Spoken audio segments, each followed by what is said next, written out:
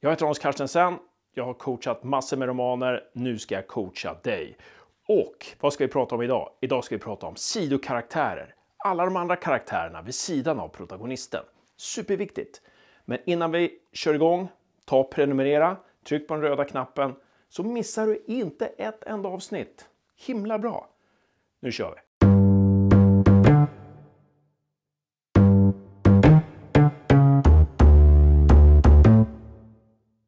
Sidokaraktärer, ja. Vad är det för någonting? Alla karaktärer som inte är protagonisten. Alla de här som är vid sidan av berättelsen men ändå väldigt betydelsefulla i berättelsen. Och det är lätt hänt när man skriver sina första romaner eller kanske speciellt sin första roman att man bara kastar in lite personer som man tycker verkar färgstarka och sådär. Kan funka, men kan också vara ett misstag. Hur ska jag då veta vilka sidokaraktärer jag ska använda mig av? Det första som kan vara bra att fundera över, det är vilka sidokaraktärer skulle min protagonist behöva? Alltså utgå ifrån protagonisten. Om jag har en protagonist som är ganska tyst och ensam så kanske hon behöver någon som hjälper henne ibland för att hon ska kunna klara av vissa saker. Och den här sidokaraktären kanske bara ska introduceras i början och sen återkomma en eller två gånger. Eller kanske bara ska dyka upp någon gång. Men man kan ju också tänka så här, ja, jag har en protagonist som det går ganska lätt för allting. Man tänker att ja, jag behöver nog sidokaraktär som hindrar protagonisten lite mer, som bromsar upp handlingen lite mer. Och ni vet ju det här med motsatser som vi har pratat om förut. Det är inte dumt om den sidokaraktären i början verkar vara en som kan hjälpa.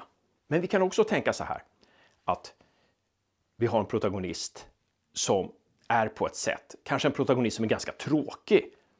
Intelligent, modig men tråkig. Då kanske vi behöver en sidokaraktär som lättar upp stämningen lite. Som är något av en clown eller en joker. Man kan också tänka åt andra hållet, att vi har en protagonist som är väldigt rolig men inte särskilt analytiskt. Då kanske du behöver en sidokaraktär som är just det, analytisk. För att du ska komma in i det här lite bättre så ska du få göra en övning. Den första övningen i det här klippet alltså. Och den här övningen går ut på att jag målar upp en protagonist som är på ett visst sätt och din uppgift är att försöka välja en av fyra sidokaraktärer som du tycker är bra för den här berättelsen. Du har en protagonist, Jonas, som är tänkande och smart, men har svårt att ta initiativ. Vilken av de här fyra sidokaraktärerna tycker du skulle passa berättelsen bäst? Antagonisten, någon som tävlar med protagonisten och någon som är protagonistens like. Och så kanske ett tag verkar kunna besegra protagonisten. Någon som protagonisten mäter sig med.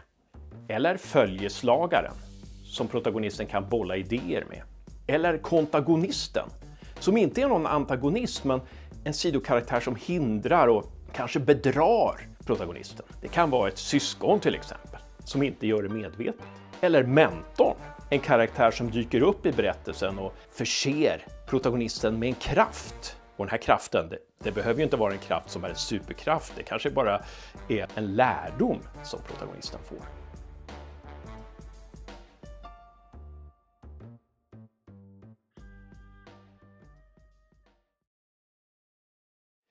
Nu ska vi ta och fundera kring vilken sida av karaktär en berättelse kan behöva om vi funderar på själva storyn. Vi tänker bort protagonisten och koncentrerar oss på storyn.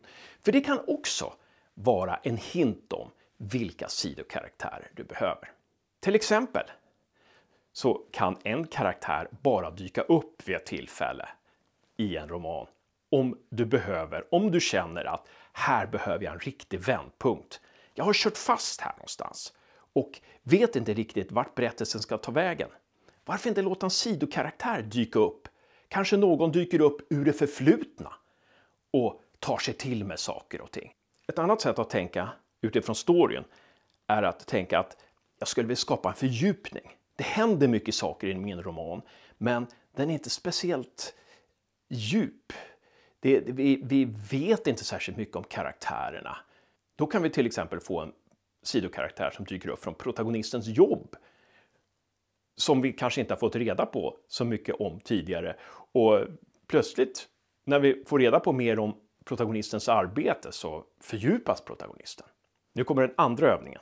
Nu ska du få träna på att försöka ta storyn i en annan riktning, en helt annan riktning än den var tidigare.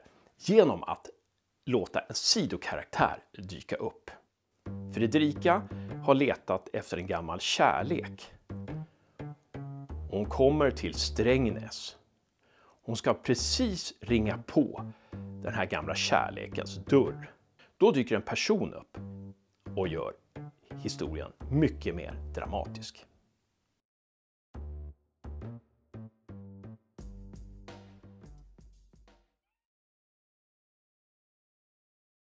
Nu vet du lite mer om sidokaraktärer. Hoppas det betyder något för din roman och fortsätt skriva.